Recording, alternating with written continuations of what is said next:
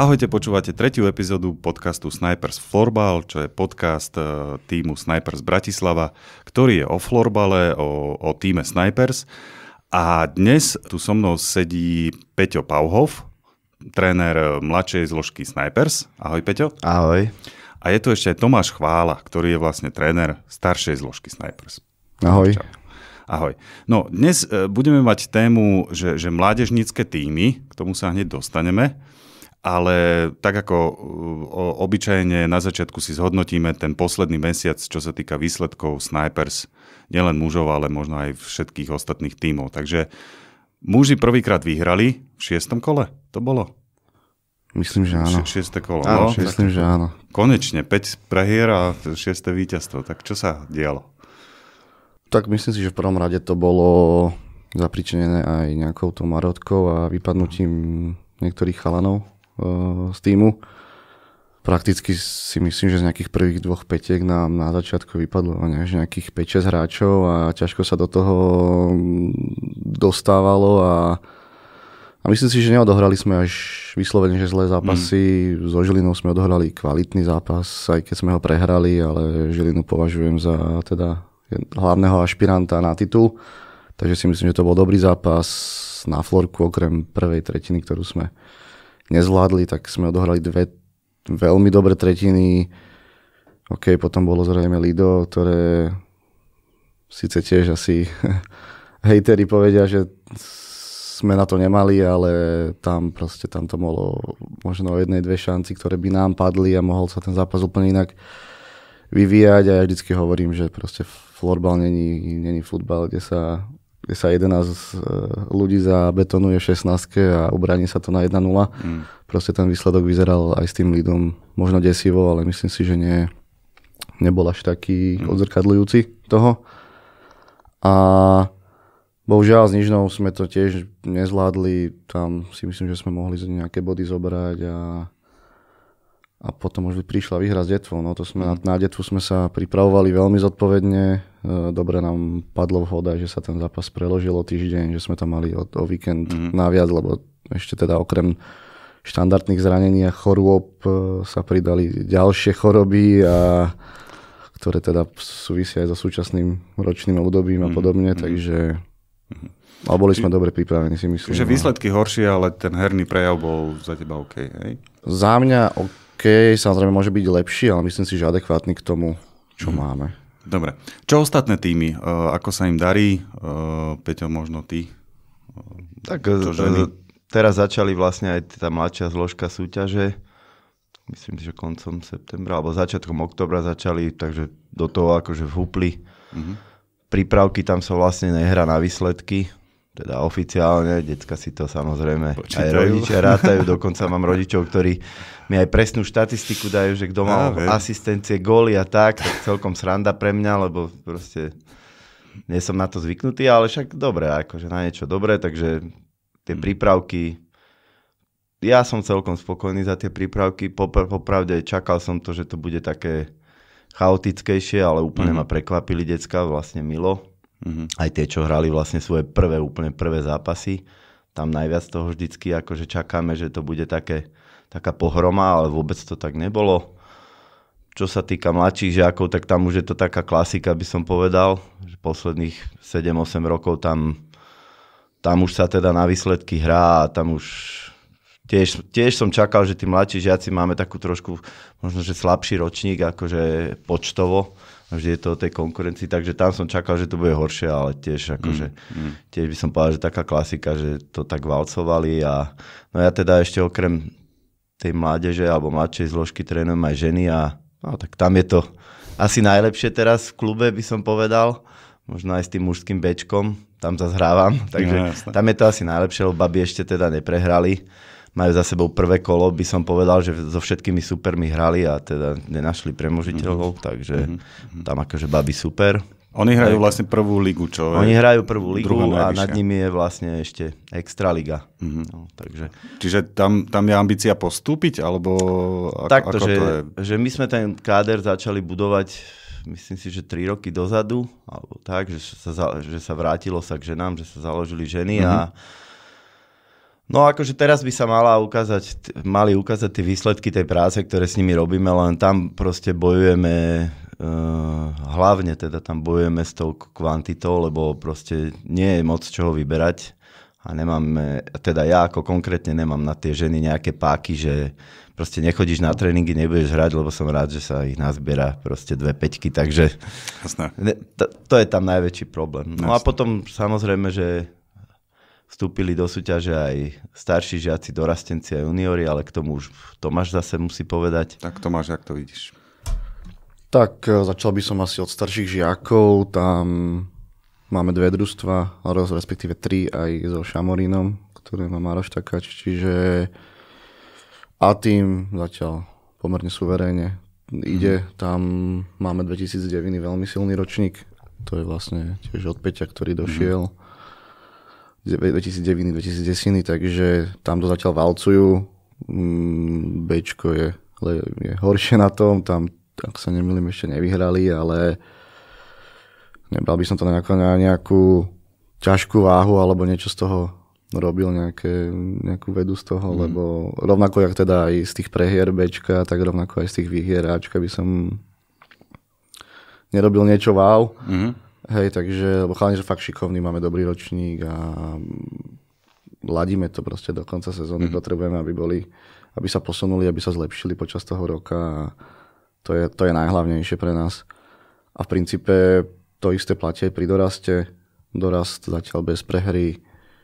Uh, teda Ačkový dorast, tam máme rovnako dve družstva. Mm-hmm. Tam, tam bez prehry zatiaľ. Bčko rovnako, jak ich starší žiaci, tam majú iba bod ale v doraste je to, mm, bohužiaľ pravidla sú tak nastavené, že B tým nemôže nikde postúpiť ani do nejakej nadstavby, ani do maj, na majstrovstva, čiže v princípe má Bčko, Bčko od tejto časti o nič nejde a, ide, a vyslovene, mm. aby sa zlepšovali, aby sa proste posúvali tí chalani a, mm.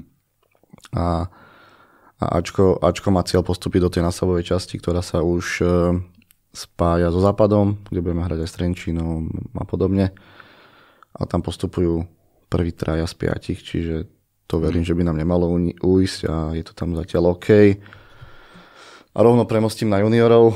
Uh, juniori v podstate po minulom roku, čo bolo si myslím, že sklámanie, pri tom, aké sme mali káder, uh, to bolo štvrté miesto, tak uh, sa ten tým v podstate prebudoval Zohnal som nových chalanov aj z iných miest. Chalani cestujú na tréningy, či už z Holiča alebo z Nitry, čiže veľký kus e, odhodlania musia mať sebe a, a presne také typy som hľadal chalanov, ktoré, ktorí proste budú hrať pre ten mm. klub a mm. aj pre nejakú tú lásku k tomu Snipers a, a myslím si, že to sa aj deje ale výsledky nie sú úplne také, aké sme očakávali možno, alebo aké sme zvyknutí skôr, tak by som to povedal.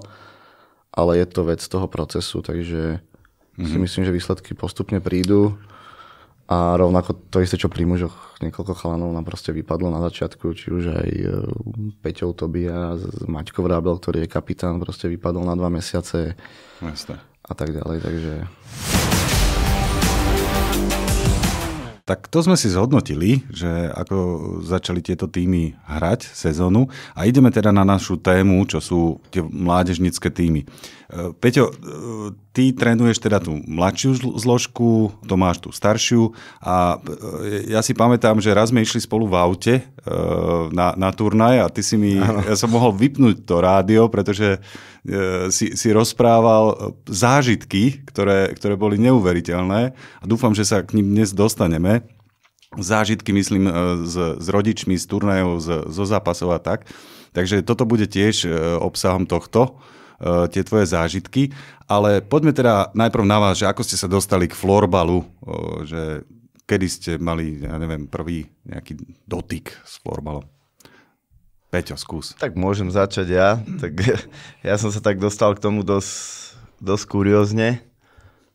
by som povedal, že to je to, čo sme si asi aj rozprávali v tom aute, že vlastne ak som sa dostal k trénovaniu, tak e, v prvom rade musím povedať, že som sa dostal k trénovaniu cez svoje deti.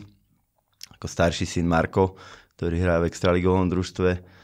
Ten už má 27 rokov, takže on, on ten florbal hrával ale on hrával teda dlho hokej a potom začal hrať florbal, respektíve nám to oznámil, že on už hokej nebude hrať po desiatich alebo po deviatich rokoch a že bude hrať florbal, no tak som si povedal, no tak čo, no tak ako skončili nám ráne stávania, nebudeme chodiť na zima, kde je zima, tak prídeme... Samé pozitíva, hej? Samé pozitíva, ale tak jasné, že sme to trošku tak prežívali, lebo však tiež sme boli rodičia a mm. začal hrať florbal a vlastne tak po nejakom čase, keď nám povedal, že hraje florbal, neboli sme sa na neho ani pozerať, ani nič, akože len nám to proste oznámil a potom sme sa išli raz pozrieť na nejaký zápas.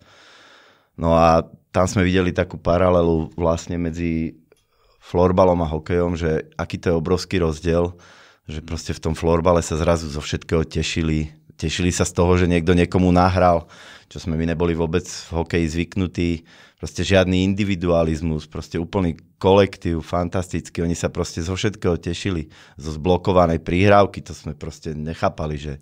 Mm. Tak sme sa tak pozreli na seba, akože s manželkou, s Dankou a sme povedali, že no tak akože pekný šport to je. Mm. Sa nám to páčilo, že bolo to dynamické, padalo veľa gólov a tak, tak, tak samozrejme, že keď sme rozmýšľali, čo ako s tým mladším synom, s Tobiasom, on mal vtedy 5 rokov, tak dáme ho na florbal.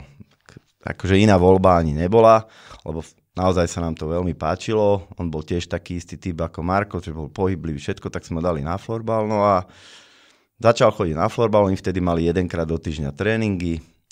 No a vlastne ja som ho tam vždycky odnesol na ten tréning a čakal som ho na tréningu, alebo vonku, alebo na tréningu a No a niekedy sa stalo, že ten tréner, ktorý ich trénoval, ja ho nebudem menovať, sorry Maroš, a, tak niekedy sa stalo, že meškal, alebo neprišiel na tréning, alebo tak, že zavolal mi, že proste pán Pavov, ja neprídem, že, že nemohli by ste tam byť chvíľu s nimi. A tak som bol, však ma to bavilo, akože decka mám rád, tak ma to bavilo, tak som s nimi bol, niečo som im povymýšľal a tak, tak som s nimi bol na tréningu a, a potom sme išli na taký turnaj do, do Komáromu, to, tak, to bola taká tradícia niekedy, že sme tam chodili na turnaje, už teraz tam z nejakých dôvodov nechodíme, ale niekedy sme chodili proste do toho Komaromu na turnaj, tak to bol ich prvý turnaj, ja neviem, asi 3-4 mesiace hrali a možno ani nie toľko, a že idú na turnaj. Tak sme išli na turnaj, prišli sme tam a samozrejme, že čakali sme, čakali sme.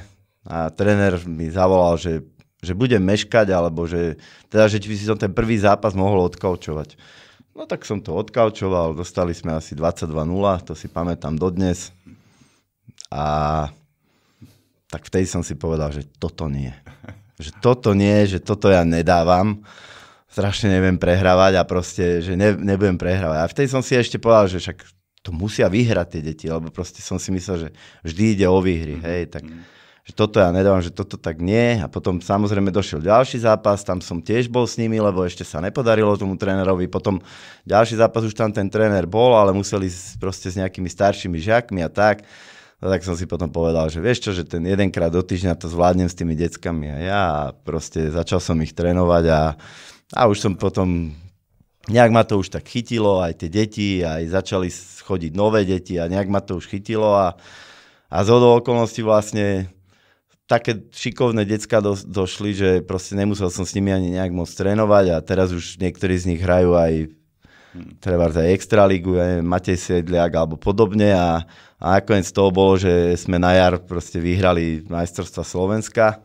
No tak a už to, to bolo... hneď prvý rok? Áno, áno, oh, hneď prvý rok a to už bolo vlastne jasné, že proste, že, že musím s nimi ostať a no a tak som uh... sa dostal k trenerstvu a potom už potom už to išlo, akože no. A to, ty si mi ešte hovoril, že, ako, že ty si vlastne nikdy florbal nehrával predtým a že ako si sa učil, že čo trénovať. Že, no to... takto, akože tým, že proste som, som chlapec z dediny, tak my sme vlastne tam, samozrejme, že všetok voľný čas venovali športu, či už futbal, alebo hokej, takže stále sme mastili, takže to, to ako v sebe som to mal vždycky a Hrával som aj hokej, aj hokejbal, mm. akože nie je súťažne, ale chodil som hrávať hokej tým, že Marko hrával hokej, tak sme chodili rodičia akože na partičku a potom som začal chodiť aj na partičky, takže ten hokej je veľmi podobný tomu, len samozrejme, že musel som sa ale tie trénerské zručnosti si hey, hey, no, lebo ty si mi... akože no? študoval som všetko možné, čo sa dá,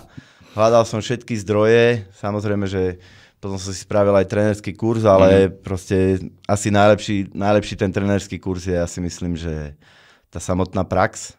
Mm. Tá ti ukáže, že na čom máš pracovať mm-hmm. a ako vyťahnuť proste z tých detí to najlepšie, čo v nich je. Mm-hmm. No a mne, mne v tých začiatkoch veľa aj pomohli rodičia. Akože mm-hmm. boli, boli fakt veľmi dobrý kolektív, sme boli s rodičmi, tým, že sme boli vekovo podobní. Mm-hmm. A oni mi s tým vlastne aj veľmi pomohli, že, proste, že sme videli, že ten že ten kolektív je fakt dobrý, že proste, že sme sa stretávali aj mimo toho a, a to ma tak nakoplo a to proste, no všetko, proste študoval som všetko, čo mohol, pomohol mm. mi veľa Vlado, aj Tomáš, proste veľa mm. vecí mi ukázali, veľa vecí mi povedali ako a to už potom tak sa nabalovalo, no, išlo to už. Super, rýchlo, super. Takže tak, no. Také, dobre, taký dobre, kuriózny si, začiatok, ale... Si, si taká hviezda trénerská, hej, prvý rok hneď hey, titul. No, wow. Dobre, e, Tomáš, čo ty, ako si sa dostal k florbalu? Tak u mňa to bolo troška inšie, ale keďže ja som primárne išiel ako hráč uh-huh. a v podstate v nejakom 9. ročníku to bolo, ak sa nemýlim, na základnej škole, som mi tento šport učaroval na telesnej a som hľadal možnosti, ako to ísť robiť inak. Kamarát hral v klube Dragons, takže som ho poprosil, či nemôžem prísť. A ja, že jasne dojdi, tak som vlastne došiel, to som mohol mať nejakých 14-15 rokov a som do na prvom tréningu rovno som stretol Maroša Takáča vo dverách, mm. takže odtedy už... Ťaháte spolu? Áno, áno. To sme vlastne hrávali iba za Dragons Bratislava, ktorý bol vtedy akože jeden z top tímov, si myslím, na Slovensku. A mm, u nás to bolo také, že sme že tréner nám nedával toľko, toľko tej pozornosti, ako napríklad my mhm. dávame teraz. Mm, Nemali sme ani toľko možností, hej, to, čo dnes, dnešné decka majú, tri tréningy. Hej. Čiže vy ste čo, tiež trénovali raz za týždeň? Alebo... My sme mali dva tréningy do týždňa tréningy, uh-huh. a zápas možno raz za tri týždne, za štyri. Uh-huh. Boli sme bohužiaľ takí slabší, čiže sme väčšinou dostali, dostali vylágož a išli sme domov šťastní keďže tá pozornosť nejakého trenera neprichádzala úplne, ani tie turnaje, tak sme sa nejako posledný rok v tom Dragonse rozhodli, že ideme sami na turnaj. Takže sme sa zbalili a išli sme chalani, neviem, 16-17 ročný, koľko sme mohli mať vtedy. Išli sme do Liberca na turnaj a potom sme si vlastne povedali, že však poďme si spraviť svoj klub. Uh-huh. Tak sme išli do toho, dali sme dokopy chalanov nejakých, v podstate skákali sme do neznáma, išli sme proste úplne, že nevedeli sme ani do čoho. Založili sme si riadny klub, mm, objednali sme si telocvičňu, takže začali sme proste trénovať. Mm-hmm. A tým, že sme proste boli iba chalani, ktorí sme boli v podstate rovesníci, tak uh, som sa toho nejako chopil. Nepamätám si vôbec, ako k tomu došlo, že to nejako padlo na mňa, to trénovanie myslím. A tak som. Čiže, že to bolo také, že ty si to chcel vyskúšať, že idem do toho, alebo povedali chalani, že vieš čo, ty si typický tréner, to, pod nás trénovať. Toto si presne nepamätám, ako to vôbec k tomu došlo, predsa len už je to skoro 15 rokov, čiže, čiže neviem, ale nejak to tak vyplynulo prirodzene z, asi tej, z tej situácie a som sa toho chopil a začal som trénovať. To bol vlastne, to sme založili Falcon z Bratislava spolu s Marošom a toto už zrejme zaznelo v prvej časti, si myslím, že to je jeden z tých zakladajúcich klubov no, Snipers. No, no. Takže prvý rok som takto trénoval a potom už sme vlastne prešli do Snipers a už sa to proste iba rozširovalo a nabalovalo a išlo. Mm-hmm. No výborné, takže e, Peťo, ty koľko, 10 rokov už trénuješ? Hej, 10 rokov. Dobre, a to máš ty, tých 15, ja hej, plus minus. si myslím, že toto by som mal 15. sezónu Jasne. začínať. No, čiže dosť dlhá doba. Uh, preskočím rovno na nejaké úspechy, že, že za tú dobu, čo považujete za svoj taký možno osobný, nejaký taký najväčší úspech? Ako to máte? No, uh, takto, že ja by som povedal, ja by som išiel na to takou trošku obklukou, že veľmi sa mi zmenil ten pohľad na úspech, že čo mm. je mhm. vlastne úspech. Mm-hmm. Uh, pre mňa ako, lebo ja, ja mám tie mládežnícke týmy a tam, tam je to o tom, že áno, všetci chceme tie prvé miesta, tie medaily, ten úspech, ale pre mňa je vždycky úspech, keď na konci sezóny sa pozriem na tie decka, ktoré ktorými začínam vždy, lebo však vždy je nové družstvo, proste tie vyššie ročníky idú vyššie. A pre mňa je vždy úspech, keď, keď na konci sezóny vidím, že proste, že ten, že ten, tá, tá práca s, tý, s tými deckami, že mala zmysel a že tie decka sa proste všetky zlepšili. Hej? To, to je pre mňa ten najväčší úspech. A druhý úspech, keď sú tí rodičia spokojní, nie z toho, že proste vyhrávame, ale z toho, že vidia, že to dieťa ich je proste, akože možno to je také klíše alebo fráza, ale pre mňa je to fakt, akože pre mňa je to vždycky ten, tá inekcia, ten doping do tej ďalšej sezóny, že áno, malo to zmysel.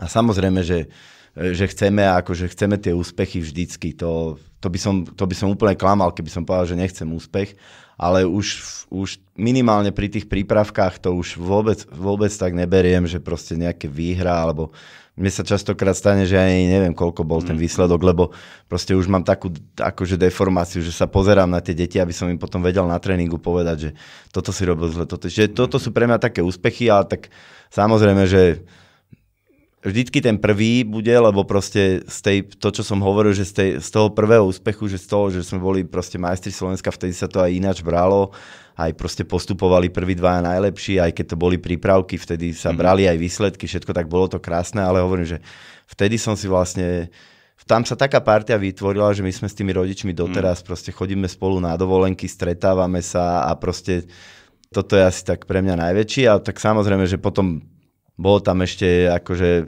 to, keby som tu mal menovať všetko, čo sme akože vyhrali alebo mali medaily, tak to akože, bolo by to poprvé ani nezaujímavé, ako, ale tak asi, asi teraz ten posledný je pre mňa taký, to bolo také zadozučenie za tú celú prácu, že sme boli vlastne na tej goti, ktoré proste jeden, alebo nie že jeden, ale je to najväčší turnaj mládežnícky na svete.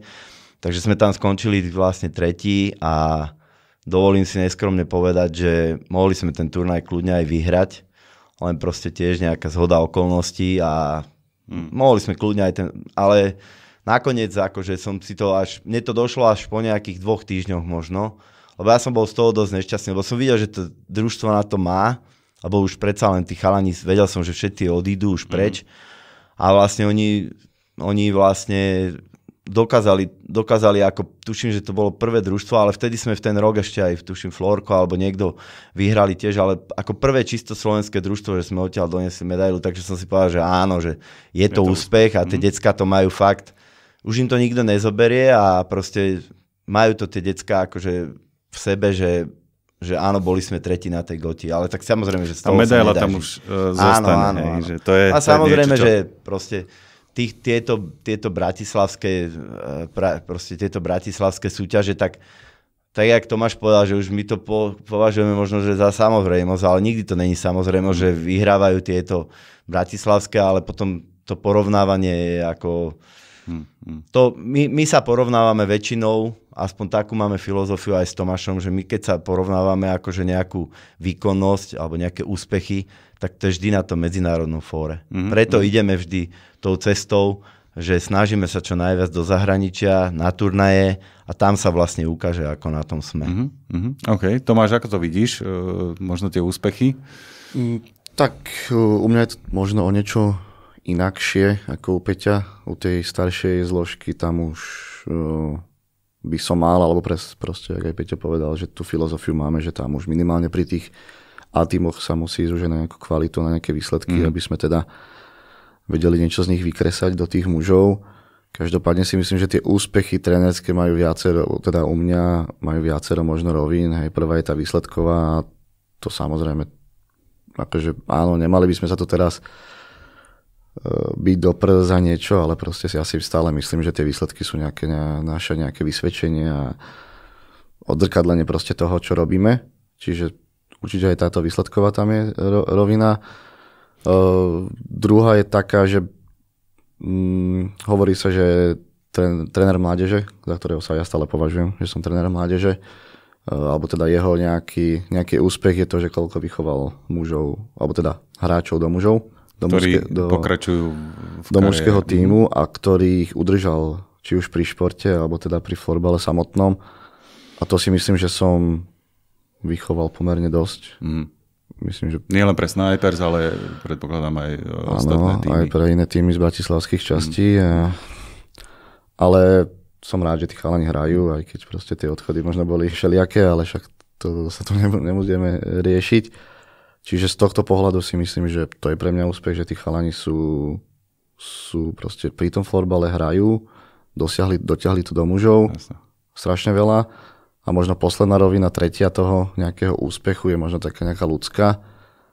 A pre mňa je super, že keď mi 5 rokov po tom, čo ten chalan skončí s florbalom napríklad, mi napíše, že tréner, som si až teraz uvedomil, že, čo, že ako, ako ste to robili a, a že vlastne, že to bolo super, aj keď sme mhm, nadávali mhm. častokrát a breptali a, mm-hmm. ale uvedomuj, až teraz som si uvedomil, že to bolo super, alebo proste keď toho chalana stretnem a podá mi ruku a, a pokecáme. To je také, mm-hmm. taká, taká, taký iný druh odmeny, ale si myslím, že taký ten ktorý tak najviac zahraje, že možno aj viacej ako tie výsledky. Jasné. A toto som sa chcel ešte opýtať, pekné odpovede, ale mali ste možno, alebo pamätáte si na nejaký moment, kedy ste niečo vyhrali a boli ste s tým týmom tak, že, že ste dokonca akože skoro až plakali, hej? Že, že to bola taká veľká emocia, lebo t- tie deti hlavne, tie sa tešia po každom výhratom zápase, či ide o ligový zápas alebo tu, turnaj, to je jedno, ale, ale bolo to také, že, že wow, že tak dosiahli sme niečo a teraz ste mali zimomriavky minimálne. mali ste takéto nejaké momenty? Tak e, ja určite áno. Asi, hmm. asi po každých tých víťazstvách keď vidíš tie šťastné decka, tak e, proste určite tam zimomriavky minimálne, aj to šťastie, ale, ale ako, takto by som to povedal, že, že možno treba, ja by som použil, že Tomáša, že na Tomášovi to niekedy možno ani nie vidieť, ale my čo ho poznáme, Aha. tak vieme, že proste vnútri to prežíva, Aha. že sa teší a takisto aj, takisto aj u mňa to je, že proste to, niekedy sa to možno zdá, že sa netešíme, ale, ale proste asi, asi, asi si to nedávame tak možno von, tie emócie, že nie, nie je to tak vidieť, tak ale si... vždycky pri každom, vždy, ako vždy pri každom víťazstve, akože nejakom veľkom, samozrejme nie, nie je niekde v Bratislavskej lige, keď proste vyhráme 15-0, mm. tak e, e, nebudem sa na to už pozerať, že či som vyhral, nebudem mať nejaké zimomriavky, tam to vlastne neexistuje ale proste keď je to nejaký vrchol, či už majstrovstva, alebo turnaj, alebo niečo, nejaký vrchol sezóny a že, že to graduje, že tam je už to play-off a tak, tak pri každom tom víťazstve, aj, aj keď je to v úvodzovkách len štvrtfinále. Mm. Hej, že podľa mňa to v štvrtfinále to bývajú najkrajšie zápasy. Mm-hmm. Akože neviem, prečo to ide, tak je. Ide o všetko. U mňa to tak je, že mm-hmm. proste buď idem o tie medaile, že idem do tej no, no, štvorky, alebo končím. Čiže pre mňa tie štvrtfinálové víťazstva, nebolo ich málo, akože bolo ich fakt veľmi veľa Vždycky sme sa dostali do toho štvrťfinále aj na veľkých mm. turnajoch, aj či už pražských alebo brnenských, hej, proste hrali sme aj, aj finále na veľkých turnajoch, čo ja viem, v Brne Trebárs, alebo v Ostrave, alebo, alebo aj v Prahe, že, že keď sme sa dostali do tej štvorky, tak pre mňa to štvrťfinále asi mňa, mňa to najviac tak, že potom si poviem, že už ne, ani ne, nepovedal by som, že sa uspokojím, ale povedal by som, lebo vždy, vždy máme s deťmi, samozrejme, že už tie od mladších žiakov vyššie, si dávame taký cieľ, že proste ten turnaj sa hrá, dajme tomu, že štvrtok, piatok, sobota, nedela, alebo piatok, sobota, nedela. A vždy je náš cieľ hrať aj v nedelu. Jasne. To, je, to je taký cieľ, čo máme s, s deťmi, že hrať aj v nedelu. A v nedelu je už väčšinou mm-hmm. prvá štvorka, mm-hmm. niekde možno prvá osmička, ale väčšinou prvá štvorka. Takže to je taký, pre mňa mm-hmm. sú tie štvrťfinálové zápasy úplne krásne a vtedy fakt tá emocia to až vytriskne. Mm-hmm. Takže pre mňa toto. Super, super. Tomáš, čo ty? Si teda taký, že to nedávaš najavo, ale... Tak Peťo to už naznačil to... a ja som, ja som emočný človek Aha. celkom dosť a preto sa snažíme na tých zápasoch, eh, hlavne v takýchto veľkých zápasoch, eh, to nedávať až tak najavo. Mm v podstate teraz po tom poslednom finále, kedy sme hrali do Rastenci v Trenčine, tak mi niekoľko rodičov povedalo, že... že, že si tam vôbec nebol? Že, hej, nie, že som tam nebol, ale že proste, že úplne, že som bol taký fokusovaný, by som to povedal, ale... Ale potom to možno príde, hej? To že, príde, to jasné. príde. Bolo niekoľko momentov, si pamätám, že ani nielen po víťazstve, ale hej, ono sa to teraz dá, že možno sme veľakrát vyhrávali, alebo bolo veľakrát, keď sme mhm. dostávali, mm. dostávali aj my na mhm. držku a a či už v Prahe alebo na, na Pragemse a proste keď sme dali nejaké góly, hej, že vyslovene, že proti silným superom, ktorí boli jednoznačne papierový favorít a videli sme, že tam mali už vtedy hráčov z Českej extraligy mužskej a, a podobne. A mm, chcem povedať, že nielen pri tých víťazstvách mi nejaká možno slzička vyhrkla, ale proste pri tých góloch niekedy, kedy proste hmm. sme vyrovnali zápas proti veľkému favoritovi a samozrejme celá hala väčšinou sa fandí outsiderom, takže v tom momente sme boli outsidermi, takže celá hala fandila, chalani proste vrieskali a tak, čiže vtedy, to no, sú jasne. také momenty, že vtedy, vtedy to tak možno, mm-hmm. že nie len pri tých víťazstvách. Pri tých mm-hmm. víťazstvách možno až tak nie, možno neskôr. Mm-hmm. A to tak neskôr väčšinou mm-hmm. niekedy pri, prichádza mm-hmm. tie, po tých veľkých úspechoch. Pracujete s mládežou e, a hlavne pri tých mladších e, sú rodičia.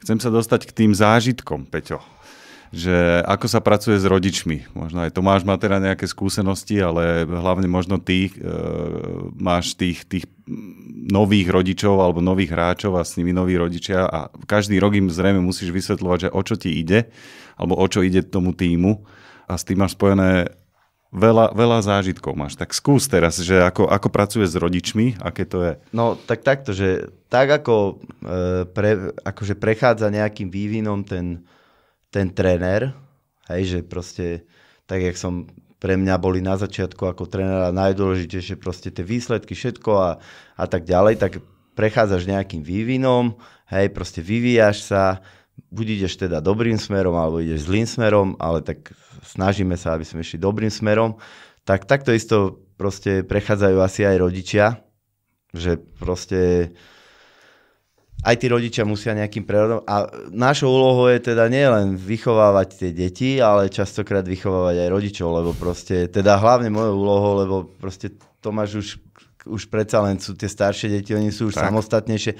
On už až toľko sa nestretáva s tými deťmi, ale teda s tými s rodičmi, rodičmi, ale ja teda akože s rodičmi som v neustálom kontakte a niekedy fakt akože to, je, to ma udivuje, že čo dokážu všetko rodičia sa spýtať a potom si no, poviem, tak že... skús, tak, skočme rovno, rovno tak, do toho, že, že čo, čo tí rodičia tak, sa pýtajú. Prídu ja neviem, na prvý akože, tréning ja, ja, som to tak, ja by som to tak povedal, že, že je to taký vývin, ešte k tomu by som sa tak vrátil, je to taký vývin a proste potom sa ti stane aj to, že rodič, ktorý, ja neviem, sa stalo, že, že, neviem, že, že, ten jeho, že sa mu zdalo, že dieťa hrá málo na zápase, tak ho zobral a išiel s tým, rodi, s tým dieťaťom sa zobral a išiel preč zo zápasu. Alebo zo zápasu. z tréningu, alebo tak. Hej, okay. zobral ho za ruku a povedal, že tu ty nebudeš, ho nevieš. A teraz je ten rodič, jeden z najväčších fanúšikov, akože e, sniper a celú tú filozofiu zrazu pochopil. Čiže toto mm-hmm. je pre mňa taký, toto je pre mňa taká, taká vec, že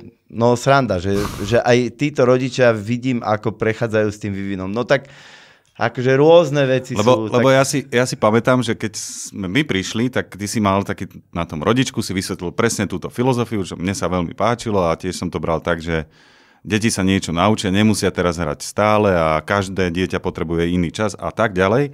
A to bolo veľmi dobré, ale nie každý rodič to asi hneď na prvú pochopí. To je to, čo hovoríš. Hej? Že, že áno, áno, veď to, to je taký, že to je taký, že sa že tí niektorí rodičia, oni ani, oni dokonca ani netušia, že, že aký šport hrá, alebo niečo proste, že ja neviem, to, to sú proste, to je ako, mne to ani teraz nejak nenapadne, že čo presne, ale tak opýta sa ťa nejakú vec, ktorá aj ťa trochu vytočí, hej, lebo proste, on, ona, ona, hlavne teda akože hlavne teda, a nie aj mamičky, ale aj oteckovia proste, že oni ani nevedia pomaly, že na aký šport to dieťa chodí, hej, že, mm-hmm. že ja neviem, stalo sa mi napríklad aj taká vec, že otecko, hej, že 4 roky hrá chlapec florbal, Aha. hej, a celý čas sa starala o to mama a teraz mama bola o, o, chorá alebo niečo, proste nemohla a ja neviem, on mi volá ráno pred zápasom,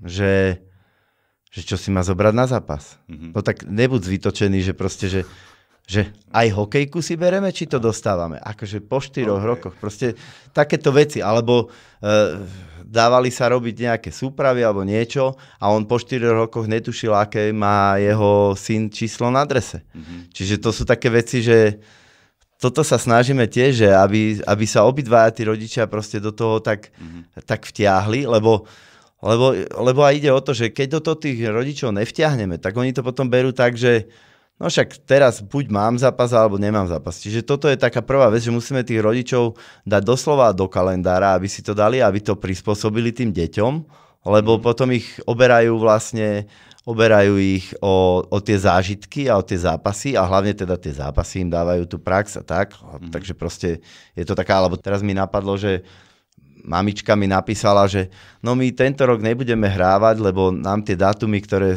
sa hrá liga, nevyhovujú, takže my tento rok vynecháme. Hej? Pritom dieťa obrovský talent, mm. akože strašne sa teší a, a napíše, ti, akože... napíše ti, že, no, že oni ani jeden zápas nemôžu, lebo oni majú vtedy proste víkendy, niečo si riešia a že Takže proste takýchto veľa, veľa je toho proste veľa, alebo ti napíše rodič po zápase, že no, že, že akože veľmi sa mi páčilo na zápase, ale ja chcem, aby môj Ferko hral s Joškom a, že sú tréneri, a s druhým, že proste, no tak to akože Rodičia, Lebo tréneri, to, si... to, je, to je vlastne samostatná kapitola, to sme s Tomášom to... dostali niekoľko typov, ako kto má hrať, na akom poste a proste Ty ako to... máme poskladať peťky, to, to ako toho je naozaj veľa. Že, to, ktoré... to, ja vidím ako rodič, že, že my keď sme na nejakom turnaji, tak, tak to vidíme a tiež máme také tie pohnutky. No však ten by mohol hrať s tým, ale ty to uh, hneď upozorníš na začiatku všetkých tých turnajov a zápasov, hovoríš, Eh, nedávajte rady tým eh, deťom, hej, počas prestávok a tak, že proste, aby ste ich nedomotali, čo je veľmi dôležité, ale každého rodiča to proste ťaha. Každý rodič je odrazu tréner, aj keď v živote nehral florbal, hej, čiže ale, ale dobre robíš, že, že, že stále upozorňuješ tých e, rodičov. Áno, že však to im ja, ja som bol tiež rodič, akože som stále rodič, ale ja tiež som ako rodič, mám iný pohľad. Trebárs, ja poviem úplný príklad, že proste však Tobias hráva pod, uh, pod Tomášom a tiež mám na nejaké veci akože možno hmm. iný pohľad ale vôbec si to už nepripúšťam, že by som niečo povedal, že ten nehrá s tým, ani, alebo ten hrá s tým, lebo proste viem, že ten tréner určite robí všetko preto, aby to urobil čo najlepšie. Takže e, je to ťažké, akože je to ťažké, ja to chápem tých rodičov mm. na jednej strane, že je to ťažké, aby bolo, aby bolo všetko v poriadku, aby oni boli spokojní, ale preto upozorňujem rodičov, že iba pozbudzujte tie deti a toto je taký apel, že využijem to, že sme tu pri tom Jasné. mikrofóne, že toto je taký apel, že chválte deti, pozbudzujte im, tlieskajte im, ale nenakladajte. My im nakladáme dosť, ako tréneri si myslím, pretože sme klubový florbal, takže musíme byť na tie deti trošku, mm-hmm. akože by som povedal tak eh, hnusne, že tvrdší, ale proste musíme od tých detí vyžadovať okrem tej disciplíny nejaké tie veci. Takže oni od nás majú toho dosť a nepotrebujú to ešte počuť od vás. Od vás potrebujú počuť potles, pochvalu a to je asi tak, úplne, mm-hmm. úplne to stačí. Mm-hmm. Ja ešte sa iba spýtam, že či ste, lebo ja som nebol na veľa turnajoch, ale teraz naposledy, keď som bol, tak uh, naša sekcia v Snipers fanklubu bola aj hlučná, ale potom som tam videl iné týmy, iných rodičov, ktorí do toho boli oveľa no, viac zažratí, ako by som to povedal, skoro až agresívni. Že, že už to preháňali s takým tým, akože to už nebolo pozbudzovanie, to už boli skoro až vyhrážky na rozhodcu a takéto veci, akože sem tam padne niečo, že čo pískaš, hej, ale mi to prišlo už také, že zažili ste niečo také, že už rodičia, ja neviem, prišli na ihrisko a začali sa nebudaj byť a takéto veci? No, akože dosť sme toho zažili. Mm-hmm. dosť sme toho zažili a si myslím, že toto tá, tá, tá agresivita, máme aj my, bojujeme s tým aj u nás. Mm-hmm, akože to by som musel klamať, že ja by som povedal, že nie. A bojujeme, no. s, tým, bojujeme s tým aj u nás, akože veľa, veľakrát. Jasné, že stalo sa, že prišli aj na ihrisko. Akože... Počas zápasu, hej? Že... Hej, no tak áno, aj počas zápasu. Okay. No, no, no, no. Tak čak Tomáš by vedel asi tiež k tomu Tomáš, Tomáš, ako, ako príhodu? No práve, že týmto ja nemám až tak príhody a akože možno by som to tak zobširnejšie povedal, že rovnako, jak sa teda Peťo vyvíja, tak, alebo teda aj každý sa vyvíjame mm. a tak rovnako aj tá práca nejaká s tými rodičmi sa úplne mení. Ja keď som začínal, alebo teda keď sme začínali v klube, tak ja som prakticky tých rodičov nepoznal. Mm-hmm. Tam neexistovalo niečo, že by rodičia chodili alebo niečo. Tam poslal sa mail, ideme tam a tam, donese peniaze, detsko doneslo. Mm-hmm. Hej, oni ho vyložili pred halou, išli si zatiaľ počas zápasu nakúpiť. Mm-hmm. Či to bolo, že to decko nechcelo, alebo či to ten rodič nemal záujem, už nevedno. Ale tým, jak Peťo s nimi pracuje na tej, v tej mládežnickej e, kategórii a rovnako, ak mi posiela výborných hráčov, tak mi posiela aj výborných rodičov. Takže priznám sa, že to je moja achilová peta troška táto komunikácia s rodičmi, ale tak ja zastávam a snažím sa raziť to, že tých chalani, keď už teda ja sa venujem od tých 15 rokov chalanom, tak už proste, keď mu poviem, že tréning není, takže na ten tréning nepríde a nemusím to proste každému rodičovi zvlášť oznamovať. Hej, teda mm-hmm. my sme minimálne takto fungovali v našom a verím, že to takto pôjde.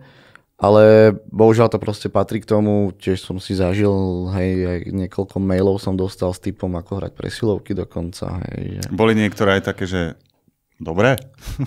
Of, nie, vôbec to samozrejme. Že úplne mimo, hej? Že, hej, žiadna, akože, žiadny nejaký genius. Práve Peťo hovorí, že by si nedovolil mi povedať, ale práve od Peťa by som to mm. zobral, lebo je proste Jasne. tréner a rešpektujem ho a že od neho by som práve ten typ nejaký zobral, ale keď mi to napíše niekto, kto v živote nešportoval, tak proste to... No jasné, to sú tí najväčší to, múdrci. To bohužiaľ, ale... akože mm-hmm. cez to moc vlak nejde. Mm-hmm. A bolo všeličo. Hej. Dokonca som mal jedného rodiča, ktorý došiel so stopkami na tréning a stopoval si, koľko jeho syn bol na loptičke. No, akože koľko hral? Alebo... Koľko bol na loptičke. Akože, a, čo, a, čo ako, s tým ako potom? dlho, takže ako... on si vypočítal, že treba z hodinu a pol tréningu, prepáč, že ti to no, no. že on si vypočítal, že z hodinu a pol tréningu bol, ja neviem, 12 minút od na loptičke, takže... A potom vám to povedal, že to je málo, celý čas alebo... stopoval a potom proste som dostal výpis a No, toto, teda, toto som mal aj ja, že, polievku, no. že proste koľko hral v zápase, tak mu stopoval, že je, prípravka hral 3x10 minút, tak mm-hmm. on, mhm. mi, on si presne stopoval, koľko bol jeho syn, koľko bol na, na ploche a poslal mi, že bol 4,5 minúty, že prečo tí druhí boli 7,5 minúty mm-hmm. alebo podobne. Čo Hej. s tým robíte potom, s takýmito... No, ja si myslím, že... Snažíte najskôr... sa im to vysvetliť? Alebo Snažíme sa im to, ako... vysvetliť, ale najskôr si to asi vždycky medzi sebou povieme. V skupine mm-hmm. si to napíšeme, že čo vlastne na to napísať, lebo to sú také absurdity, že... No veď práve, že či to, to má význam, e, no význam. Kvôli tomu dieťaťu asi áno, ale čo, ako to riešite, no? Že... Je to taká téma citlivá, alebo teda pre mňa taká, taká troška ťažšia téma, lebo veľakrát to dieťa je v pohode, nemá, no, nemá problém práve s týmito vecami a Častokrát je možno problém viacej s tým rodičom, ktorý z toho robí problém z niečoho, čo vlastne možno ani není a či to je dotknuté rodičovské ego, alebo čo, to už si každý, každý mm. asi musí sám mm, povedať, ale hovorím, že ja, ja mám 31 rokov a ja som nešiel trénovať, aby som vychovával 40-50 ročných rodičov. Ani si myslím, že mi to neprináleží, aby som niekomu mm. vysvetloval, ako sa má správať z mojej nejaké pozície. A stále si myslím, že starého psa novým kúskom nenaučíš. To sa proste bohužiaľ ukazuje stále. Mm, mm. A vždycky sa snažím proste povedať, že to není úplne vhodné a nemá to absolútne miesto v nejakom mládežnickom športe mm. a dokonca zažívame podobné aj pri mužoch. Hej. Teraz, že čo je pre mňa úplný nonsens, že... Že rodičia mužov... Áno, že rodičia proste mužov riešia nejaké takéto veci a pritom... Mm, OK. No, akože sú to už dospelí chalani, no, jasne, reálne, jasne. že už majú 18, 19 To, to už sú možno už takí akože fanúšikovia, hej, že, že ich už môžeš tak ignorovať, ale pri, pri tých rodičoch, malých deťoch, tam nie, že áno, si ich áno. musíš počúvať, ale, ale oni môžu rozhodnúť o tom, že či skončí alebo nie. Pri tých mužoch si hodíš rukou možno a on pokračuje. Ale... No, ono sú tu také dve základné veci, by som povedal, že prvá vec je, aby si tí rodičia uvedomili, lebo však keď apelujú na to, že stopuje, koľko jeho syn bol, aby mm. si uvedomili, že to je proste kolektívny šport. Mm. Že niekedy sa stane, že florbalovo slabší hráč hrá a ten, čo je geniálnejší, lepší nehrá lebo proste tomu trénerovi tam nepasuje do toho konceptu, hrajú proti nejakému družstvu, kde oni ho majú prečítaný za dve minúty a on si myslí, že proste oni, my sa to snažíme deťom vysvetliť, že my robíme všetko pre kolektív. Uh-huh. A proste a tak to je, to nie, že my to vymýšľame, to tak je. Proste ten kolektív je proste o tom. To, takže toto je jedna z tých vecí, ktoré musíme tým deťom vysvetliť. No a druhá to je taká, by som povedal, že, že známa choroba Slovákov, že Slováci sú e, fanúšikovia iba úspechu. A to mm-hmm. platí aj vo florbale. To mm-hmm. môžeme robiť, čo chceme. Proste je to tak. Keď sa ti darí, keď vyhrávaš, tak si najlepší tréner, najlepšie družstvo, ale keď... A v momente, ako to nejde alebo niečo, a pritom každý má na to nárok, Mm-hmm. A ten tréner tiež nie je kúzelník. No, proste to, stále je to o tých hráčoch. Mm-hmm. Proste nikdy to nebude tak, že to, podľa mňa to je hlúposť, môžeš mať akéhokoľvek trénera, ak tam nemáš tých hráčov, ak tam nesedí tá chémia. On to môže poskladať, on to môže dobre urobiť, ale proste niekedy z toho družstva proste viac nevyžmýkaš. Takže mm-hmm. toto musia tiež pochopiť. Mm-hmm. OK. Ako to vidíte do budúcna teda? Nielen zo Snipers, ale možno aj s florbalom? Posúva sa to, alebo posunie sa to ďalej? Určite sa to posúva, si myslím, a mm, u nás je hlavná tá nejaká filozofia, alebo hlavná myšlienka tie tréningové podmienky. Na tom sa snažíme neustále pracovať, aby to boli proste najlepšie. Aj keď proste máme to vysoké členské. Mm-hmm. Možno sa, alebo teda dá sa niekomu ako vysoké, ale si myslím, že to je adekvátne k tomu, čo tie deti dostávajú, že majú proste tri tréningy vo veľkej hale majú tri tréningy proste v hale, ktoré je teplo, v ktorej je teplá voda, čo možno sa zdá, že hovoríme o nejakom Rumunsku to, alebo niečo, jasné. ale proste reálne... Nebýva to štandard. Nebýva to štandard, hej, veľakrát sme sa stretli, že nešla teplá voda v halách. Sú haly, kde proste v zime je zima, hej, že, že proste ale že neuveriteľná zima, čiže hej, niekoľko klubov aj v Bratislave, že trénujú proste na Nevedzove napríklad, mm. kde, kde je iba v podstate rovnako skoro teplota jak vonku. Čiže si myslím, že tie tréningové podmienky máme super. Mm-hmm. Aj v tom dome športu sa stále rozširujeme, máme tam už vlastný kumbal, vlastnú šatňu, že tí chalani majú už aké také zázemie. Veľa rodičov pomáha zase, hej, aby sme neboli teda negatívni, tak mm-hmm. veľa rodičov aj pomáha, vybavuje rôzne veci a, a toto sa neustále zlepšuje a posúva. Myslím si, že aj tí muži, aj keď sa to možno prezentuje, alebo vie, nevyzerá to tak, ale majú veľmi dobré podmienky a v mhm. podstate tí muži nemusia nič investovať, okrem toho, že musia prísť na ten tréning a byť pripravení a zdraví a, mm. a tak. Čiže myslím si, že toto no. máme OK. Posúvame to, snažíme sa to posúvať každý rok a verím, že to proste bude lepšie a, mm a tak. Dobre, super. Peťo, ty máš ešte nejaký možno odkaz možno aj pre tých rodičov, alebo tak, ja by som, ja by som tiež povedal, tak jak Tomáš povedal, že aby som tu nenakladal iba rodičom, akože fakt e, každým rokom proste príde nejaká generácia a vždycky sú tam nejakí, nejakí proste rodičia, ktorí sú takí, ako by som povedal, rýpáci, ale teraz musím povedať, že posledné roky fakt akože rodičia pochopili našu filozofiu, pochopili všetko, čo robíme s deťmi a vidia to na tých, na tých deťoch, že oni tie deti sú šťastné a potom sú vlastne šťastní aj rodičia. Takže ja by som dal len taký odkaz, že buďte šťastní, buďte šťastní s tými deťmi a pomáhajte tým deťom a tým pomôžete aj nám, trénerom a potom budeme aj ten, bude ten snipers taký úspešný a nielen výsledkovo, ale aj proste po týchto všetkých ľudských stránkach. Takže toľko pre, odo mňa k tomuto. Skvelé, výborné. Ja ako rodič e, jedného z hráčov e, to môžem potvrdiť, že, že tá práca, že za ten rok vidím aj na, na svojom synovi proste nejaký, nejaký ten posun, nielen čo sa týka akože e, florbalu, ale možno aj tak dospievania alebo výchovy, čo je, čo je super, hej. Takže ja som rád, že, že hráva za Snipers.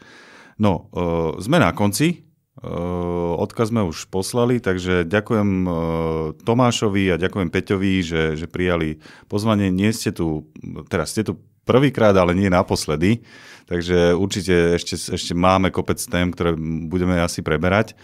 Ďakujem aj teda poslucháčom a fanúšikom Snipers. Ak máte nejaký, nejakú otázku alebo, alebo niečo, tak kľudne napíšte. Budeme radi aj za lajkovanie, šerovanie, komentovanie. Takže ďakujem ešte raz eh, Tomášovi. Ďakujem. A ja. A Peťovi. Ďakujem. A pekný deň ešte. Do počutia.